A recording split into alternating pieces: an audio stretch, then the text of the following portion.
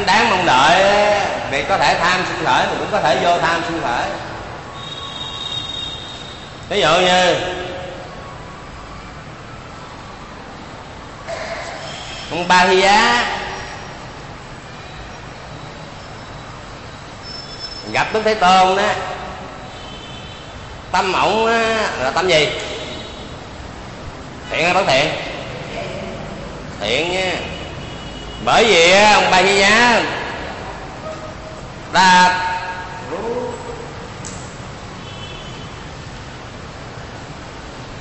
đa giá năng đa chiếu giá tức là ba hi giá mặc y vỏ cây đó.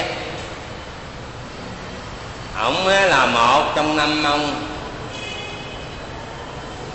Cái, cái thời mà mặc pháp thời bữa cái bậc ca, ca diếp mặc pháp đó thì có bảy gì thì cô lên núi giấy hàng dây đó Đấy.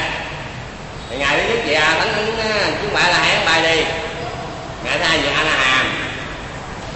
Năm vị còn lại á, không chứng tắc gì hết là nhịn ăn bảy ngày, chết luôn. Chết thì tái sinh thêm. Đầu thời đức phật có năm vị cùng xuống. Thì lúc đó, một trong năm vị đó là ngày ba giá sanh vào trong một cái làng ven biển sau đó đi buôn.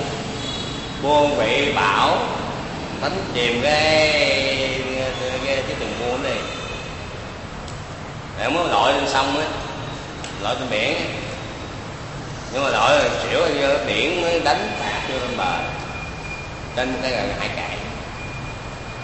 Khi mà tỉnh dậy thì quần áo rất tội tả không còn.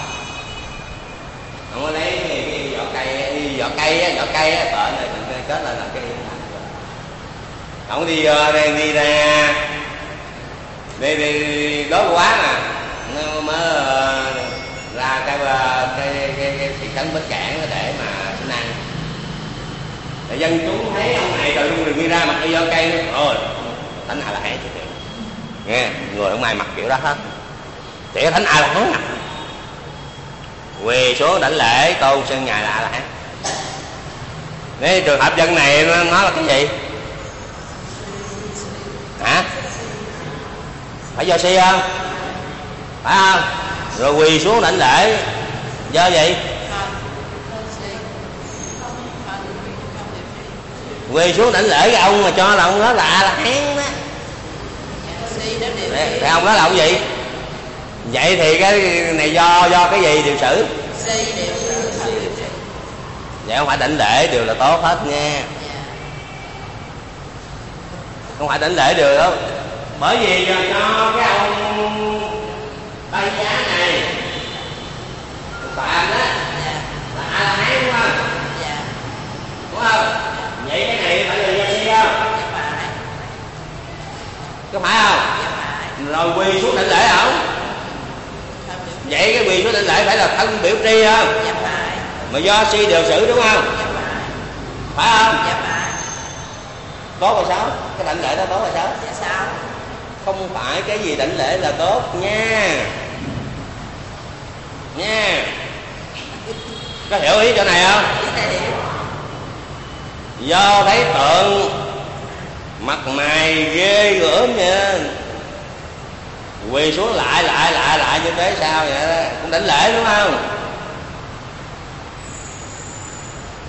tượng bà chú ba bà chú bảy ông cạn cậu cạn gì đó mấy cái đền miếu đó. Phải không? Nhìn thấy tượng thấy ghê rồi. Mặt mày cũng tiếc quá. Ha rồi quỳ xuống đảnh lễ vậy đúng không? Thì quỳ xuống đảnh lễ này. Nó thiệt hay bất thiệt?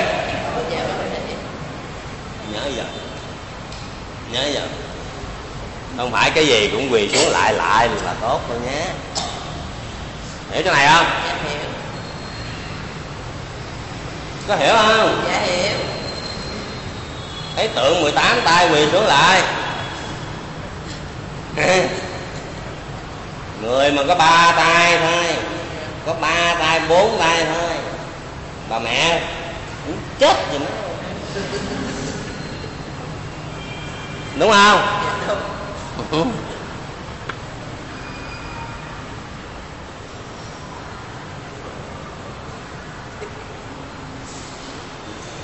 dạ đây thấy phật là cái cảnh đáng mong đợi đúng không? Vậy lúc đó là tâm thiện nó sanh. Thôi, chúng nó quan hệ vì đảnh lễ đức thế tôn, đảnh lễ nó tốt là sao? Có trí không?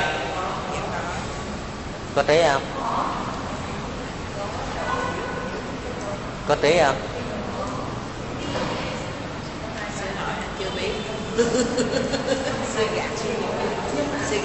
Lúc đó chưa có tí nha. Đó quan hệ thôi. Đó. Thì lúc bây giờ vô tham sinh khởi nè. Bắt đầu vô tham sinh khởi thì lúc đó á, cái bà tứ con này giảng pháp giảng pháp con nghe. Tứ con tôn nói này ba giá đây không phải thời bây giờ như lai không bác Rồi tiếp tục sinh lần nữa. Gì có tí không? Bây giờ có tí không có tí chỗ nào? Không có một sư nữa hả? sư nói là là, là thì bây giờ này ba giá đây không phải thời. Đây là thời như la nan bác. Dạ. Đặng ba giá xin lần nữa bà Tứ Tôn xin ngài giảng pháp vắn tắt cho con nghe. Dạ không có trí Có không? dạ không Có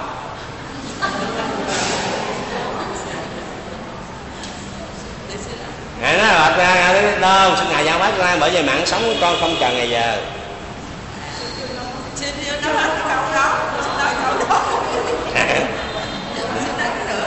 vậy vậy mới hấp dẫn chứ.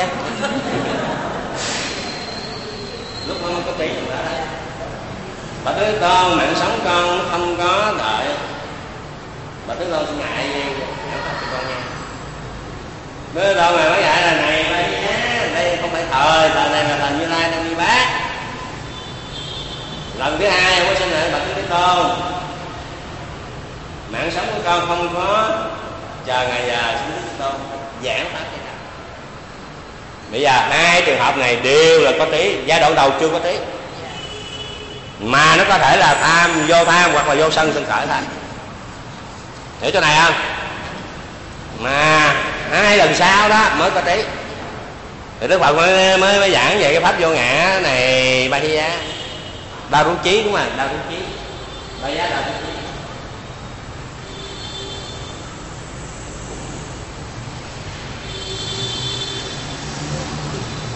đi vào cây trong cái thấy chỉ là sự thấy không có người thấy. Trong cái nghe chỉ là sự nghe không có người nghe. Trong cái hiểu biết chỉ là hiểu biết không có người hiểu biết trong cái tưởng nhớ, chỉ là sự tưởng nhớ, không có người tưởng nhớ. Rồi đối với tôi tiếp tục ra đi, ông ngồi lại bên bên đều quan sát vừa khuất tầm mắt đức thế tôn, tức là vừa khuất bóng đức thế tôn chứng quả a la hán tại chỗ. Này. Thì năm vị đó đó sáng này xuống á. Sáng này mà xuống đây á ngày ngài ta đi giá ta vị trí này là một năm vị vị thứ nhất đó là sắc giá.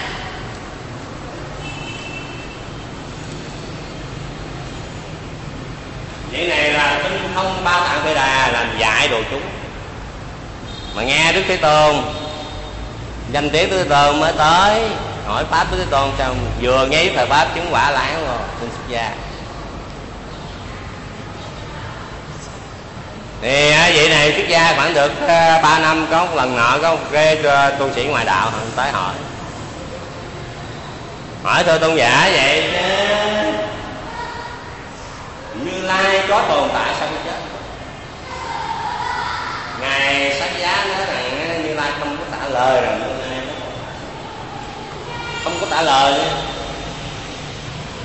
các cái ngày ăn quá tháng vậy như lai không tồn tại sau khi chết phải không như lai không có trả lời lời về vấn đề này. Vậy như lai tồn tại và không tồn tại sau khi chết phải không như lai không trả lời vấn đề này nữa. Vậy như lai không tồn tại và không không tồn tại sau khi chết nếu như lai không trả lời ờ, cái vấn đề này. Cái du sĩ mà đã thưa tôn nhỉ vì sao thánh như lai không trả lời bốn vấn đề này? Thì tôn giả ngài sáng giá đó này thì giả, bởi vì sắc thọ tưởng hình hành thức á, đều có nhân có duyên. Mà khi nhân duyên diệt đi thì sắc thọ tưởng hành thức kia cũng diệt đi. Không thể nắm bắt được sắc thọ tưởng hành thức, thì không thể trả lời rằng như lai có tồn tại hay như lai không tồn tại, hay như lai có và không tồn tại, hay như lai không tồn tại không tồn tại. Bởi vì nhân duyên nó không có mà. Nhân duyên nó bị vô thường không có nắm bắt được cái cái cái cái sắc thọ tưởng hành thức. Trên đức thế tôn ngài không có trả lời bốn vấn đề này. Thì vô sĩ mà đã mới đưa tôn giả tôn giả xuất gia được bao lâu rồi? Thì ngài sáng giá nói này hiện giả tôi xuất gia mới được có ba năm.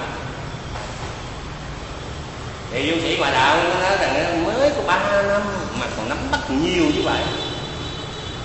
Thì nói về những cái điều nguy hiểm khác nữa. Nè. còn ờ, anh với bà ta? Cũng câu đó. Anh cũng là ta thì bà anh cũng tá mấy từ này khác nhau à làm cái tròi ở kế bên, cùng các chặng đường á, tức là ở ờ, ngôi nhà nó ờ, nút nhọn đó. Để vô sĩ ngoại đạo đó, hỏi hỏi bốn đường cái vấn đề này. Ngài cũng nói, như lai không có tồn tại sinh chết luôn vân hỏi ờ, như lai trả cái trả lời như thế nào? Ngã chúng ta nói là, như lai vượt qua cái bốn được hợp ra. Để nghe chào siêu như lai có tồn tại sao? Sao chết không? Không không tồn tại sao chết không? Không. Có tồn tại và không tồn tại sau khi chết không? Không. Không tồn tại và không không tồn tại sau khi chết không? Không. Vậy như lai như thế nào? Như lai dựa trên bốn trường hợp này. Nghe sự đẳng nó đang cao quá ha. Tu sĩ ngoại đạo nó nếu con giả này hoặc là mới xuất gia, nên không biết gì hết. Hoặc là nếu tu lâu làm trưởng lão ngu nghe ngài rồi bỏ đi. Ngài ấn là á. Này tôi nhức đầu quá. Ngẫm nghĩ nếu mà du sĩ du sĩ ngoại đạo hỏi tao thêm câu nữa tao biết trả lời sao. Nghe. Mới về hỏi đức phật. Hỏi đức phật. Đức phật ngài hỏi chứ. Này anh là á sắc là thường hay vô thường? Hay vô thường. Họ tưởng thành thức thường hay vô thường? Hay vô thường. Ngươi có thấy như lai ngoài sắc không? Dạ không ngươi thấy như lai trong sắc không? Dạ không. Ngươi không nắm bắt được như lai. Trong sắc hay ngoài sắc, trong thọ hay ngoài thọ, trong tưởng hay ngoài tưởng, trong hành hay ngoài hành, trong thức hay ngoài thức. Thì làm sao ngươi nói rằng như lai vượt lên bốn trường hợp này? Có hiểu chỗ này không? Không nắm được như lai, có hay không có? Mà bảo là vượt lên trên là sao? Hiểu chỗ này không? Còn cái ngài sa giá trả lời rằng như lai không trả lời bốn trường hợp này bởi vì nó không có câu trả lời hiểu chỗ này không hai cái nó khác nhau à còn kia nói cho cao siêu chút nghe, như lai vượt qua bốn trường hợp đó nếu bạn hỏi ngươi có thấy Như Lai trong sắc không? Dạ không. Ngươi có thấy Như Lai ngoài sắc không? Dạ cũng không. Ngươi không nắm được Như Lai mà sao dám nói Như Lai dựa trên bốn trường hợp này, hiểu chỗ này không? Có hiểu không? Không nắm được người ta mà biết người ta cũng giống như cuốn sách này mua nhưng mà rẻ vậy, biết giá biết rẻ. Hiểu chỗ này không? Có hiểu không?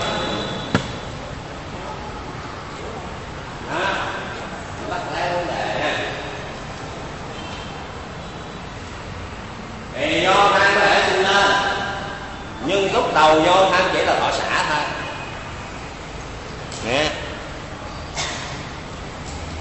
Thường do lúc đầu do tham do tham chỉ là thọ xả thôi. Nhưng được lặp đi lặp lại nhiều lần như vậy á vô tham bắt đầu nó giai đoạn đầu vô tham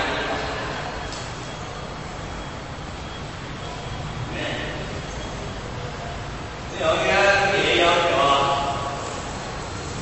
ha.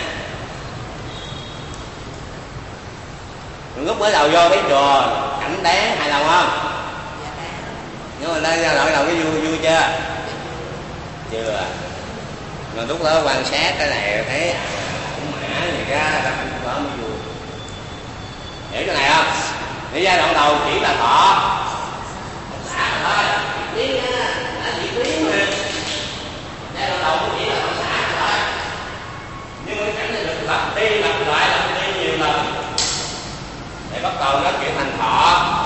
Để giai đoạn đầu quý vị nghe pháp nghe pháp tốt rồi sao lúc đầu vô vui ờ, chưa? Chưa nghe rạo rạo rào rào rào rào nghe pháp sư rào rào vậy đó ha. Thì cũng bình thường, nhưng mà lát hơn nghe nghe nghe đập đi đập mẹ nó thấm ý lên bắt đầu mới quan hiểu hiểu cái này không? Thì giai đoạn đầu nó vô tham nó cũng sanh lên. Nhưng mà nó chỉ là thọ xả mà thôi. Khi được lặp đi lặp lại nhiều lần thì bây giờ nó trở thành thọ. Hiểu, khi mà vô tham nó thọ hỷ vô tham thọ hỷ dẫn tới ngữ biểu biểu trì hoặc là những cái thân biểu trì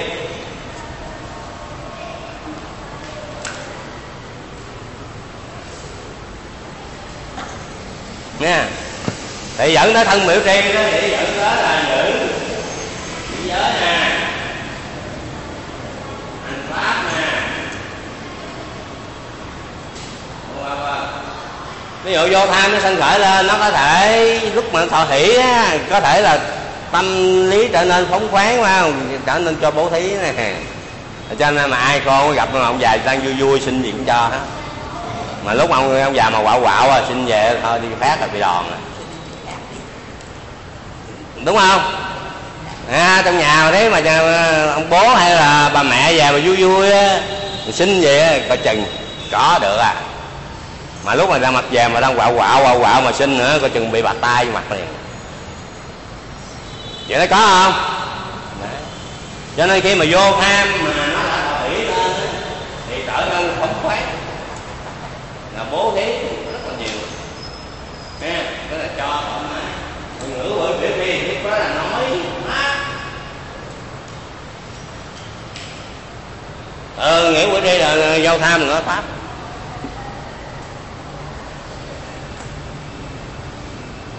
Cho nên trong cái chánh niệm tỉnh giác đó trong trong, trong cái tỉnh giác đó đó là bát tinh nha đó. Nói những gì khác có thể làm thất niệm nhưng nói pháp không thất niệm. Bởi vì một khi mà vị giảng pháp mà đúng nghĩa giảng pháp nha sẽ nói chứ không phải đứng lên trên pháp thoại mà ca hát nha. Nghe. Đúng nghĩa mà giảng pháp á, vậy đó, lúc đó cái trí chạy theo pháp. Nè, pháp diễn tiến nào vậy đó sẽ theo cái pháp đó mà nói. Nghe, lúc đó niệm nó gây ghi nhớ trong cái pháp đó. Vậy thì khưu mến pháp, tâm tư hằng niệm sẽ không lìa chánh pháp có kệ pháp cuối có không? Mà khi mà giảng pháp trong cái chánh niệm tỉnh giác đó. Sinh bát trong nha đó. Thì khi giảng pháp, nói pháp thì không bị nhưng mà nói chuyện tào lao bắt đầu nói chuyện giờ. Bên mỹ ăn cơm trưa đó. Nè. Hay là phú quốc cũng đang xây dựng cái hải cảng ở phú quốc đó. Coi chừng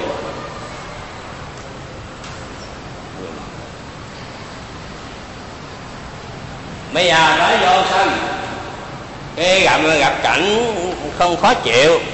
Rồi nó mất tiêu rồi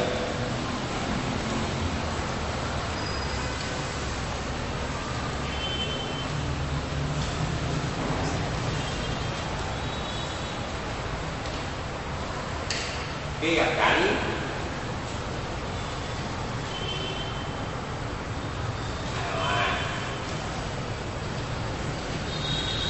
đi thì có thể. Vô sanh sinh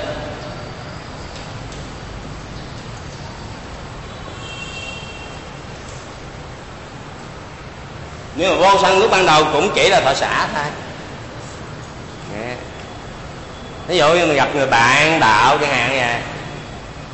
Nghe. Thì giai đoạn đầu gặp nha nó không có gì mà khó chịu bực, bực mình đó đúng không? Cùng phật tử nhau gặp khó chịu bực mình để làm gì đúng không? Nhưng mà lặp đi lặp lại người đó thì gặp để tiếp xúc rồi chuyện qua nói qua nói lại lá hơi nó lại quan quan hỷ đúng không? Đúng không? Thì khi đó khi khi mà cảnh được lặp đi lặp lại nhiều lần đó, thì vô sân nó đi chung với mà khi mà vô sân đi chung với hỷ lạc thì nó dẫn tới là tử nguyện đi Nè. nó dẫn tới thân nguyện đi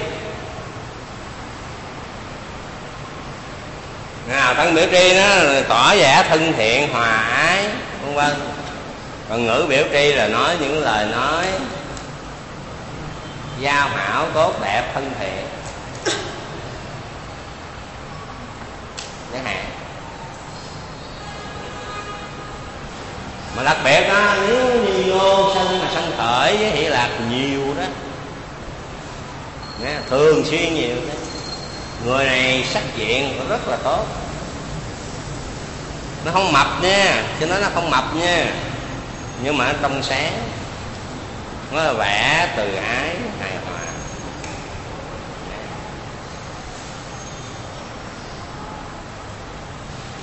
Mà cái người nào mà thường hay cao chó, nhăn nhó, miêu, mó đó, ha thì da mặt nó xấu. Da mặt nó nếu người mà có thường thường cái da mặt hơi đen đen chút xíu mà đen mà nếu mà vô sân nhiều đó, nó vẫn có cái nét bóng trong đó chứ mấy sao không Nè. còn mà giận dỗi á, Nè. cằn căng cõi cằn cõi rồi đó, thì da dẻ nó sáng Nè nhất là những người hay trừng hay trộ hay nạt hay nộ hay sừng hay sợ đó. Nghe thấy người đó đó ha? Mình xem lại mình bắt đầu nghĩ lại cái. Giữ vô sân mà thường gặp những cái cảnh nào mà không có nghịch ý những cảnh thân nghịch ý đó. Cảnh đáng hài lòng cảnh không như thế thì sân nó khó khởi lên à, nhưng mà gặp cảnh nó nghịch ý đó, sân nó dễ khởi lên đây là trường hợp mà này như trong bài kinh. Trung trung bộ kinh á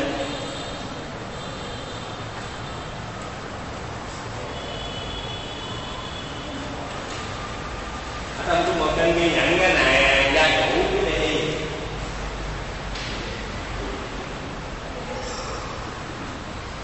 Nàng này á, được uh, án án là không bao giờ biết giận không hề có giận để cô nữ tỳ này đó. Gỗ ngẫm nghĩ này lấy nói gia chủ ta chủ ta không bao giờ vậy. Có phải chăng gì ta làm việc rất tốt đẹp mọi công việc ta là làm hoàn tất. Cho nên là bà chủ ta không có giận như xin nhớ là bài kinh này gọi là ví dụ cái, cái cưa đó. Trong trung bộ một á ví dụ cái cưa đó. Thì nàng nữ tỳ mới nói à có lẽ là tại vì ta làm việc quá tốt đẹp đi, không có chuyện gì mà nghịch ý bà chủ cho nên bà chủ không bao giờ thấy vậy. Mình thử coi cái bà chủ này có giận không. Ngày đầu tiên tới giờ làm tới giờ mà đem nước lên cho xúc miệng rửa mặt nàng nằm ngủ y chơi. Không đem làm bà chủ kêu hỏi mấy lần mới tới hỏi sáng nay ngươi làm gì? Dạ đâu có làm gì ta? rồi sáng đem nước thôi. nói tại con con mất ngủ. Tên không nói hả? Cái nàng nữ tề ta tiếp tục thử rồi. Qua ngày hôm sau, cũng không thèm đem lên nữa. Tới dạo kêu lên nữa. Rồi sao ngươi không đem lên nước vô? Ngủ cái đã, đem nước chi làm thinh cô không nói nè. Nè. Ngày thứ ba mình kêu lên. Nàng này cũng nói kiểu đó đó. Này, con nữ nô lệ kia ngờ ngủ hả? Cầm cái cây đập bể đầu lỗ đầu cái nàng này mới chạy ra, đó, ai cũng khen nữ gia chủ này là không biết giận, tại vì tôi làm việc tốt quá mà. Chứ đâu có giận, mà gặp nghịch ý coi, có giận không cho biết. Hiểu chỗ này không? Thì khi mà chúng ta gặp những cái cảnh nào nó hợp ý nó hài lòng không sân lên là phải rồi, mà gặp cảnh nó không hài lòng mà không sân được, lúc đó mới giỏi hiểu chưa? Hiểu chưa? Hiểu, nghĩ ra lao đi. Bài này rất quan trọng chứ không phải ấy đâu. Ba tuần lễ chưa xong bài. Như vậy. Ba tuần rồi chưa xong bài.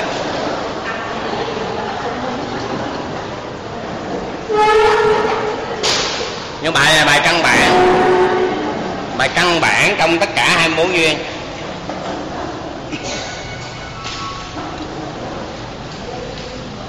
Cho nên ha, quý vị muốn nhanh là sư giảng nhanh đó Hả? Dạ cũng nhanh thì đi cái đạt 15 phút là xong.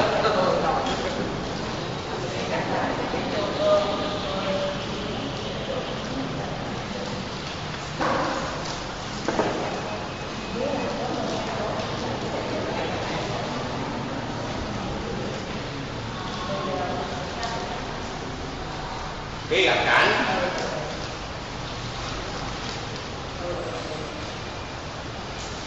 có sự quán xét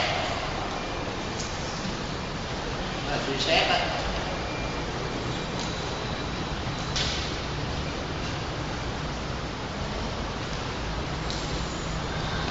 thì do suy sự phải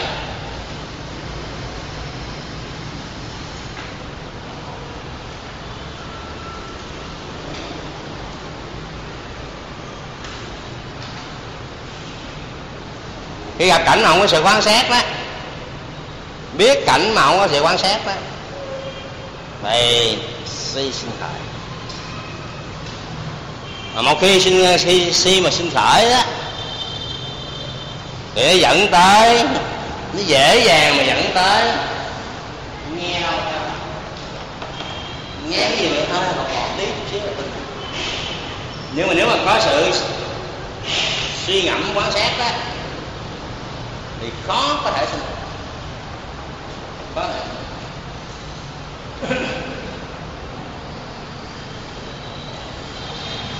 Khi mà do khi sinh khởi đó thì mà do uh, suy ngẫm cái gì thứ nhất là suy ngẫm ba tiêu chỉ để chúng ta suy ngẫm nguyện thiền nhân trung quả tức là một cái cảnh này nó là quả đúng không cảnh này nó là quả đúng không bất kỳ cảnh gì cũng là pháp hữu vi hết đúng không? Mà đã pháp hữu vi có phải là quả của một cái nhân nào đó đúng không? Để từ cái cảnh này tìm cái cái cái cái cái cái cái, cái nhân ở phía trước. Ví dụ như giờ quý vị đi đường gặp đống rác đúng không? Có phải không? Trên đường đi gặp không? Gặp đến cái chỗ mà gọi là nơi chứa rác công cộng rồi vậy hạn vậy. Hoặc đi ngang qua thấy nhà vệ sinh công cộng cái bảng để nhà vệ sinh công cộng gặp không? Phải không? Bình thường đúng không? Đi ngang qua cầu bông nghe mùi hôi bình thường đúng không? Và đi ngang qua lúc mà kinh như đọc mà chưa giác đi ngang qua hôi đình bốc lên đúng không? Bình thường đúng không? Như vậy là si có mặt. Si có mặt, nó nghe lập tức cho đó nhưng mà nếu ba sự suy ngẫm á là tiềm nhân trong quả. Bây giờ cái mùi hôi của kinh nhiêu lộc nó bốc lên hoặc là mùi hôi của kinh cầu ông ấy cái, cái xanh cầu ông bốc lên đó đúng không? Đó là cái quả nó là quả đúng không? Đó là cái cảnh nó là cảnh gì? Cảnh gì?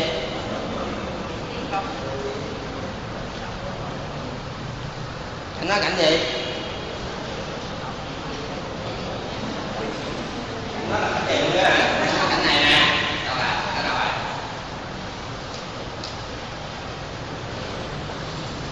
nó cảnh mùi đúng không phải không đất tinh mùi vị đúng không cảnh mùi này mà mùi này mùi xấu mùi tốt mùi thôi chắc chắn là mùi xấu rồi đúng không vậy nó là cái quả bất thiện đúng không nó là quả bất thiện gì nữa bởi vì nếu mình cái tâm bất kỳ một tâm mười mười một trong mười hai tâm bất thiện này nó đều cho bảy cái tâm quả bất thiện này đúng không và trong đó có bảy cái thọ xả quả bất thiện đúng không có phải không mà bảy cái thọ xả quả bất thiện tức là mũi ngửi mùi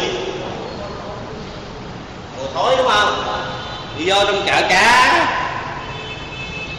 mùi mùi gì tốt là xấu mùi tanh của cá là mùi xấu đúng không vậy biết rằng đây là cái quả của bất bất thiện hoặc là thân hoặc là si thì từ quả này suy ra thiện nhân đây kiếp trước mình không bị nhiều á.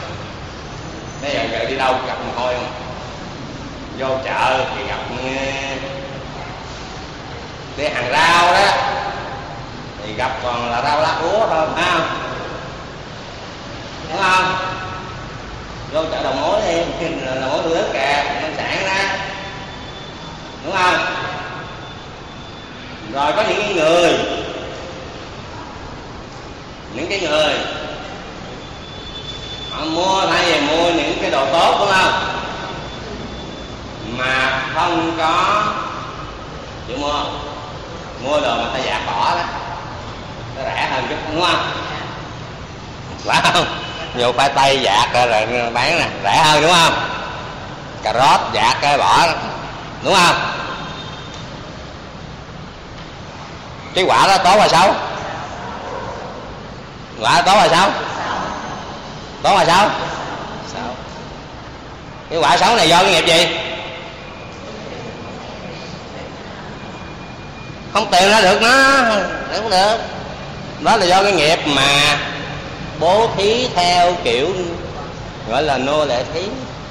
Em quên là gia chủ thí. Tức là mình xài đồ tốt và cho đồ. Đồ xấu thì sau này mình gặt cái quả này. Hiểu không? Có ba cách thí tức là gia chủ thí, bằng hữu thí và nô lệ. Gia chủ thí là mình xài đồ tốt mà cho đồ xấu, giống như người gia chủ ban cho những người làm công mình vậy đó. Nó thà không cho nha, cái này cái gì thà không cho, mà cho phải cho đồ tốt mà nó quan dạ là ai bố thí vật vừa lòng hằng được vật vừa lòng, đúng không? Ai bố thí vật quý hằng được vật quý, đúng không? Bài kinh nó có không? Nhưng mà mình xài đồ tốt, mình cho cái đồ xấu thì sau này mình nhận lại cái đó thôi. Hồi xưa cho ở chùa đề á, lúc đầu mình không biết, lúc sau biết rồi á. Có cái con tu nữ, cậu cũng tốt lắm chứ không phải cậu xấu đâu mà cậu mua chuối á, chuối mà chuối tốt, về đó, cậu ăn đâu để cho nó thâm kim cái nè. Ăn nó mới ngọt liệm. Nhưng cái đó là đồ xấu á. Rồi cỡ thì mua mà bơm á, bơm. Mà bơm mà nó hơi bị bị bị dập hai chỗ á, mua về mà cũng dạt ra cô đem ra nói chừng sẽ biết nữa mày mốt còn không dần không dân cái đó nữa nha, dân sẽ không có nhận nè, không ăn nó ừ. là ăn vật thừa thải sẽ sư giác mặc cái đồ tàn tàn tàn tàn nha nhưng mà cho phải cho đồ tốt. Không bao giờ cho đồ xấu hết. Ừ. Đồ mà sư lỡ lỡ mặc một lần mà đừng bao giờ nó sẽ cho. Chẳng thà sẽ lấy một bộ y mới sư cho. Không bao giờ sẽ cho cái đồ mà sư đã mặc một lần. Không bao giờ. À không cho à, cho phải cho. Ờ, ra cái này cái quả ăn đồ tốt thì ăn. Ăn cái đồ dụng vặt nè, thì đó, cái quả xấu. Nhỏ xấu do cái nghiệp thứ nhất là gì? Là ngày xưa mình bố thí, vật không đáng hài lòng. Cho giờ mình chật nhận lại cái vật không đáng hài lòng. Hiểu chỗ này không? Rồi có những trường hợp, ăn dám ăn mặc không dám mặc. Nha để tụi tiền hút thuốc. Để bị cái nghiệp gì? Quý vị bố thí cũng dường thuốc có quả gì không? Hả? Không cũng dường thuốc thuốc hút á. Dạ có không? có không? Cho nó có quả luôn nha? Ai mà cúng dường thuốc hút á sau này nhận cái quả là bệnh hoa lao. Vậy sư bảo thuốc vậy ngày hút thuốc nhiều bị hoa lao đúng không? Thuốc cái cà phê cũng đó. Ai mà cúng dường cà phê chứ? Á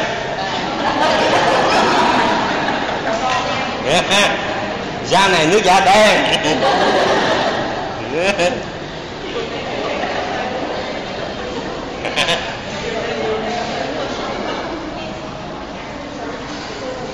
à, thèn nhân chân quả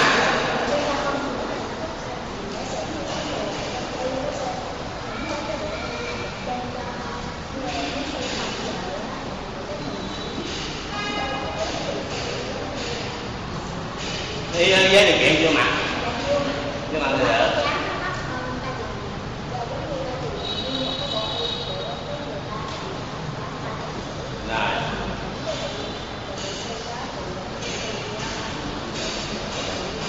nó tùy vậy đó thôi nhé nếu mà mình yêu cầu là mình sai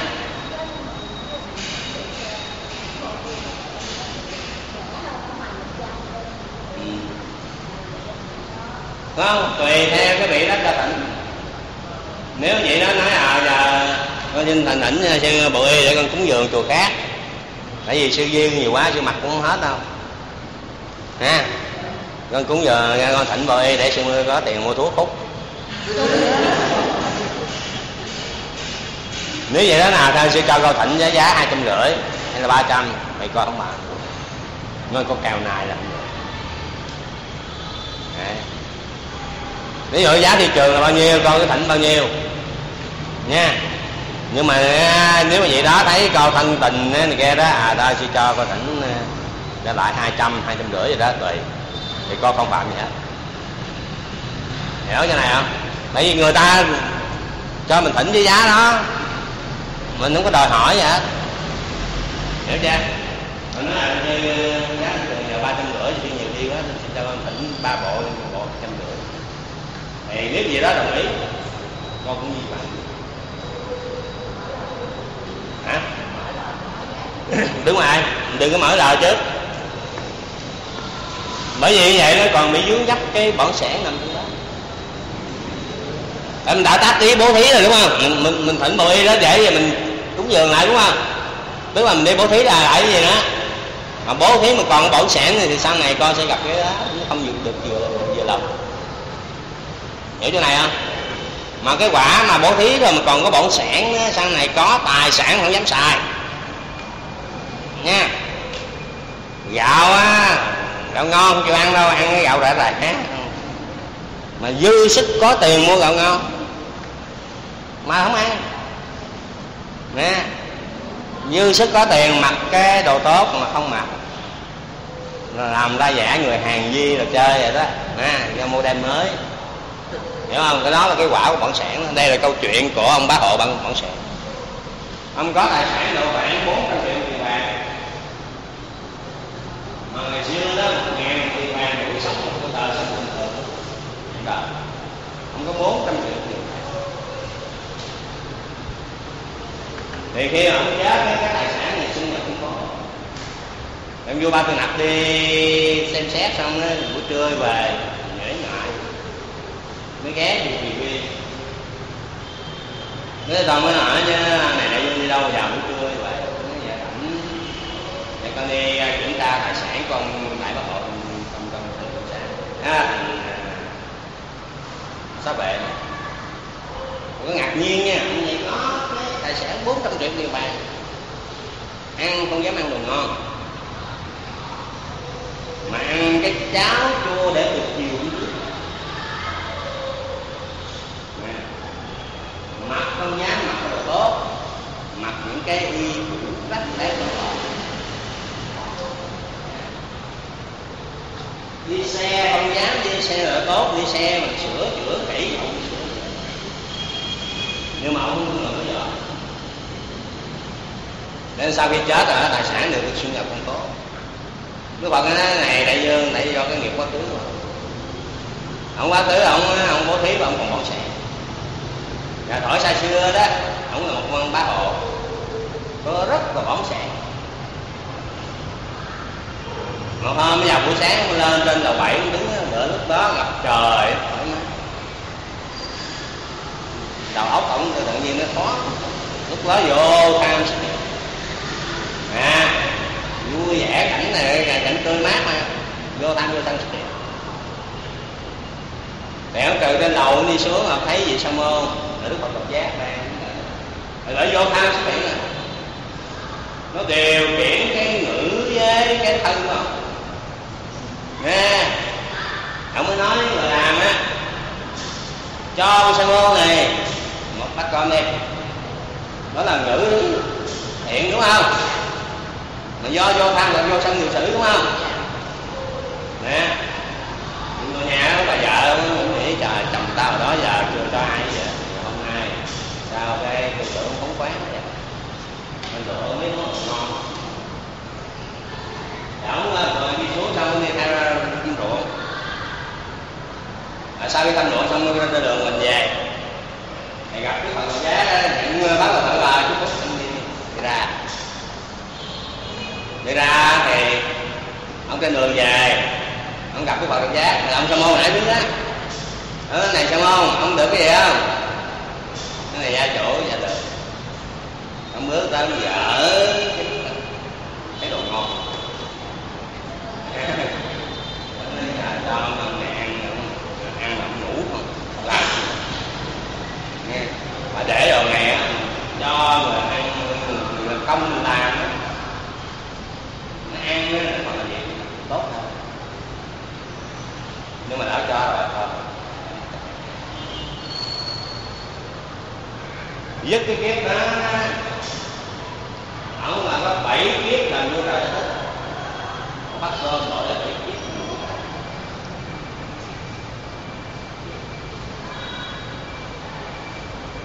bảy kiếp là đại cũng giả một bắt cơm, lời quá không? Nhiều không? Bèo cực kỳ bèo đức phật này dạy, ai mà cúng dường nữa đức phật độc giác á, là quả phước vô lượng vô biên. Mà cái vô lượng vô biên bây giờ chỉ còn bảy kiếp làm vua trời đất thì bảy kiếp làm đại chúng giả thì cái từ mà vô lượng vô biên là nhiều vô vô số kể đúng không? Mà bây giờ chỉ còn có bảy kiếp này bảy kiếp kia thấy tính ra là lời nhưng mà thật sự quá bèo. Lời không đáng. Hiểu cái này không? Nè. nguyên nhân do bỏng sẻ nguyên nhân do bỏng sẻ khi mà bỏng sẻ một cái thì nó rút cái cái cái cái cái phước mình nó còn chút xíu. Nó tờ tờ giống như cái cái cái cái, cái trái cam sành mà đang tốt đẹp cái, cái con con kiến hôi mà nó bám vô một cái nó ọt rồi. Như thế nào nhưng mà trong mười bảy kiếp ông làm đại cũng giả này nè. Bảy kiếp làm đại cũng giả này nè. Ăn không dám ăn ngon. Mặt không dám mặc đẹp. Nha. Đi xe không đi xe xe. Nha đi xe tàn tàn thôi. Dạ. rồi vì cái tài sản ông có được đó là ông giết cái cháu ông cũng được, cho nên ông vô. Và bảy lần là bị tài sản là sinh mệnh cho nên bây giờ lỡ lỡ rồi, nếu không có thế rồi đừng có tiếc nữa mà hãy mà bố thí là cũng dường rồi hiểu không? Có hiểu không? Bận sẻ cái là cái đó là bị mà bận sẻ nó sinh khởi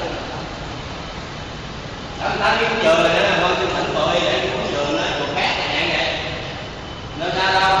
Cái vị sư này à đi đâu thỉnh hai trăm ba trăm gì đó thì cũng ra giá đó mình mình vô tội. Còn con là con sinh thì con không có nổi mình mình tính tăng giá thị trường là cúng dường người ta làm nước còn còn cái cái rẻ đi. Hả? là bước còn có làm cái rẻ không có có hiểu không bây giờ bước có cái rẻ không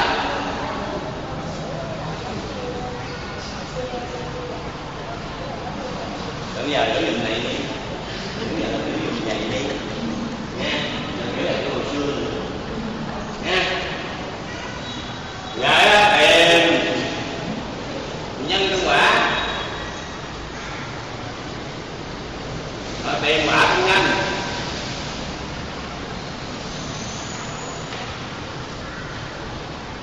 đó là tiền quả để tạo nhân Đúng không ạ? Ví dụ như trường hợp ngài anh Út Thá hoặc ngài bà Kamilani chẳng hạn vậy. Nó tại sao ta sanh ra có mùi hôi vậy? Đây là cái nghiệp bất thiện. Vậy là phải cải tổ giải quyết cái cái cái, cái nghiệp bất thiện này bằng cách nào? Đấy.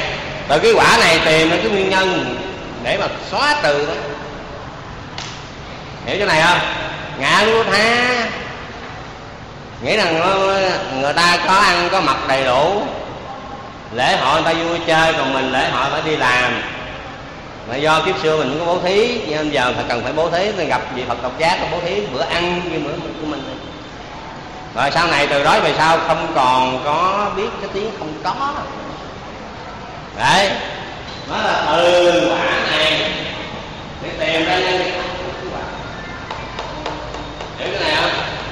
dụ người hôm nay bị bệnh tật thường xuyên thì biết làm sao?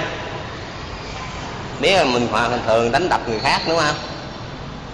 Phải không? Đúng không? Bệnh bị bệnh bị bệnh bị bệnh, bệnh tật chứ. Hoạn thì không có đâu nhưng mà bệnh tật thì có. Phải không à giờ muốn khắc phục nó làm sao? Tu tập luyện tâm tự tu tập tâm tự khắc phục rồi nó. Hiểu không? Có hiểu không? Ừ, khó quá hả? Rồi. Kiềm lý vô thường. Khổ ngã. Rồi tìm. Lý nghiệp báo. Đó. Bốn tiêu chí này nè gặp cảnh nào đó. Bắt đầu tìm ra nó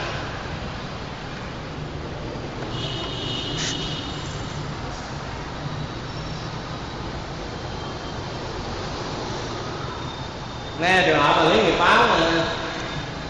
Cái trường hợp mà ngài pháp có tá cùi á, ông bị cùi do kiếp trước của ông là nhổ nước bọt vào trong ờ, nước phật độc giác.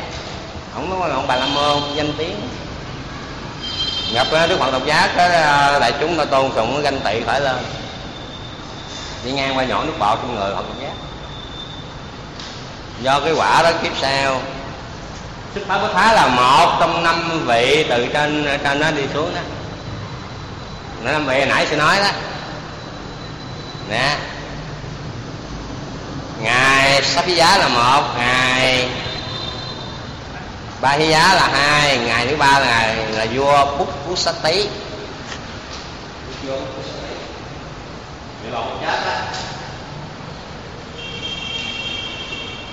Là bút sát tý người thứ ba, người thứ tư là xuất pháp bất thác cùi, hiện giác cùi đó. Người thứ tư là đau cũ nanh độc, kẻ mà giết người 55 năm gặp ngài sa la phất chứng quả luôn nhưng mà lô là sao đó, bị bò hút chết luôn năm người.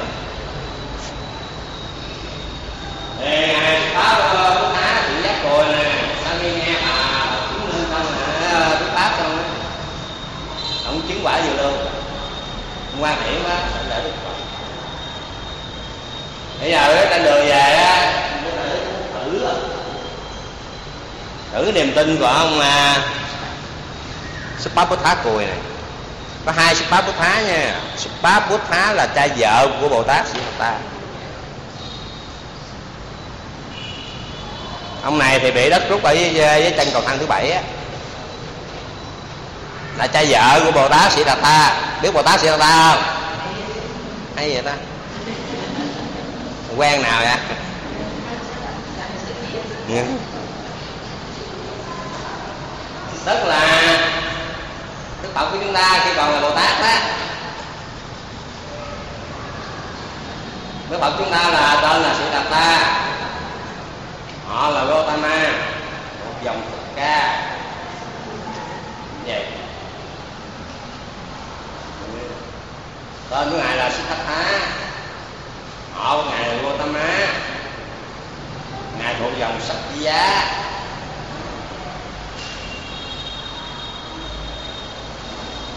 Thầy ông Siddhartha nè. Cha vợ của Bồ Tát Siddhartha chính là ông Siddhartha là em của bà hoàng hậu Mahapajapati Gotami bà Gotami hay là bà Maya? Bà Maya đó gia bà thì có hai người em. Bà Maya với bà. Mahapajapati Gotami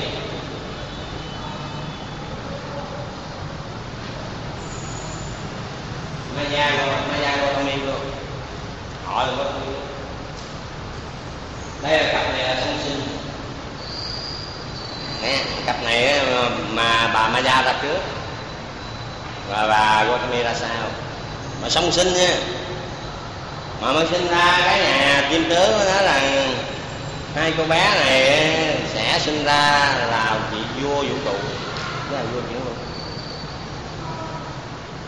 cho nên khi vua mà à, tịnh phạn câu đánh á đó, lúc 16 tuổi đó trước khi lên ngôi đó là phải cưới vợ cái đã.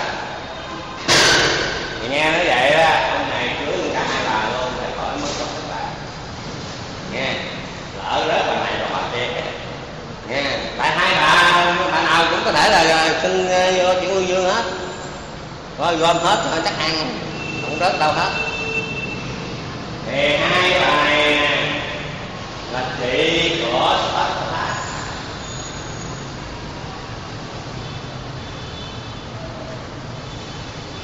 là chị của Tăng Tá Ani tác anh đi đó là gậy cầm tay á, trong bài kinh trung bộ kinh bài kinh thiên tý đi qua đá há của trung bộ ba bài đầu tiên của trung bộ ba đi qua đá há. Kinh thiên tý bản dịch của hòa thượng minh châu á. Đá ba ní là gậy cầm tay. Ông này có cây gậy vàng cầm cái tay. Ê, ông này nè. Cái ông này nè. Mới sinh ra để vào đất đá để vào đất đá để vào đất đá đó mà đi ba đi quy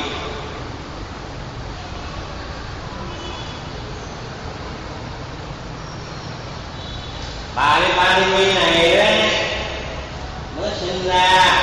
Đạo quả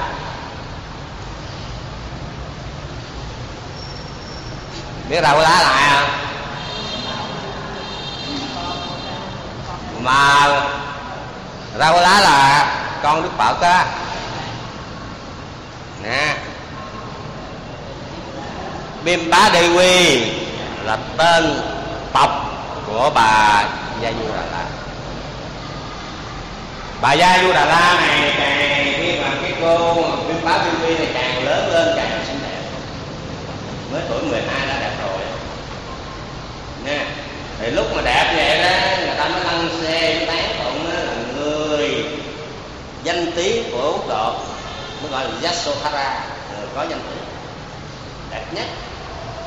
Nha khi mà bà về làm vợ của bồ tát sĩ đà ta đó trong thời gian mà 16 năm có 13 năm, trong 13 năm trời, chưa hề rầy lan của cô phụ nữ chưa hề rầy lan tiếng vì không có rầy la bất kỳ một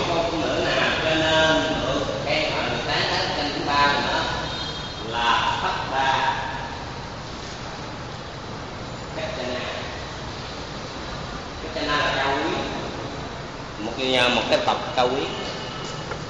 Mà không phải là tập à, không phải là cái, cái, cái, cái bộ tộc cách chana nhưng mà cách chana có hàm ý cái là cao quý. Phách đa hiền diệu nàng diệu hiền cao quý. Diệu hiền của thời xưa chứ không phải diệu hiền ở cái chùa ở à, ở, ở cái bên chùa Phật Bảo đâu nha. Ừ. biết không? Cô hiền của nữ á. Dạ Tâm á tại sao khi có lao ta bà có năm mình lên thứ ba thứ tư nữa đó? Là ta của ba ta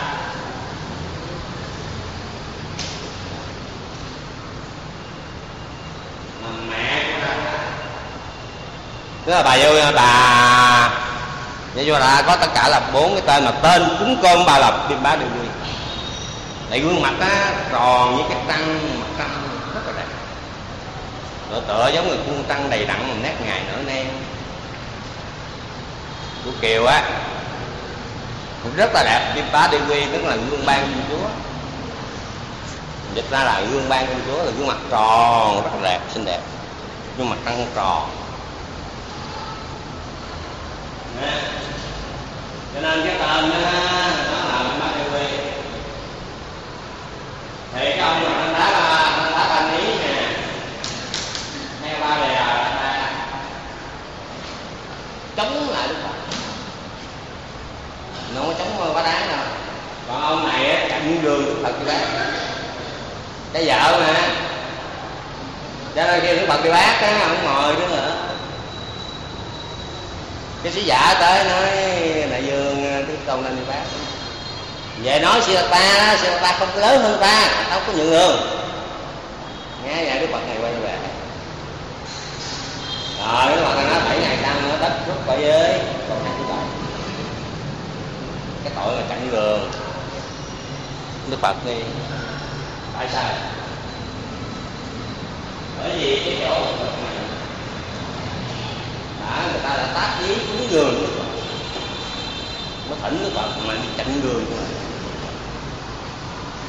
mà đức phật này có bốn cái điều mà tất cả sanh phạm đức phật phạm tới là rất nguy hiểm thứ nhất là gì? Mạng sống ngài là không ai có thể làm chặn được. Ai mà làm chảy máu ngài thôi. Thì cái quả địa ngục a tỳ đang chờ sẵn có hậu khẩu đang chờ thứ hai cái hào quang của ngài không ai có thể cản được. Khi mà đụng tới hào quang hào quang dù chư thiên phạm thiên hay bất kỳ một ông bà la môn nào có thắng trí mà gặp cái, cái hào quang của mấy ông đó gặp hào quang của phật bị hào quang phật hút vô điều thứ ba là ba hai đại nhân tướng của đức phật không ai có thể làm điều thứ tư là những đức phật muốn vật dụng mà đang muốn, đã có tác ý cúng đức phật là ai cản trở rồi bốn điều. Thì vô sẽ báo thác chậm người đi bắt đức phật mà trong khi vật thực nó đang tác ý cúng lượng trên cái quả nó phải rớt xuống không có cãi được thì ông cái má này sau khi mà cái quả rồi đó. Thì vô trời đất muốn thử xem cái đức tin nào nào thì ra đâu về. Thì vô trời đất hiện ra thương không? Nói, chiếu hào quang chán, không ai ai hả? Ta vô trời đất này sẽ báo tá, nếu như người tin ta đó, thì ta sẽ trị cho ngươi hết những rồi nói tên ông sao? Hồi nãy đức thế tôn giảng các pháp đều vô thường mà thật sự các pháp đó, có khi thường có khi vô thường. Nếu người tin ta đó thì ta trị cho người hết bệnh rồi. ông giúp bác có thá này thương như thích ta bị mình cùi đó là do nghiệp quả của ta. Mà nghiệp quả ta rồi thì không ai trị được đâu. Nhưng mà đức thế tôn người ta đã chứng ngộ pháp ta thấy rằng các pháp đều vô thường nó nói vậy sai nghe người ta không tin ngươi. Ông kia biến mất tại chỗ. Nghe không giờ bà đức phật đức phật nói quả thật như vậy niềm tin ngươi vững chắc. Để ở trên đường từ giả đức phật về bị bò hút chết. Tái sanh làm ngợi cho nên coi trời.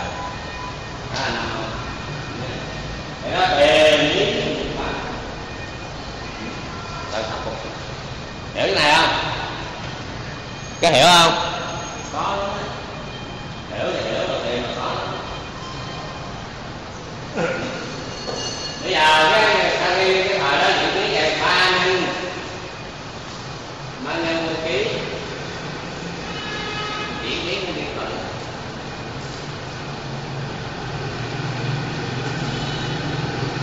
đó là chỉ có các cái ba nhân một ký này. Con thời mình nhật này dành cho vị tánh a là a la hán mà thôi. Hiểu không?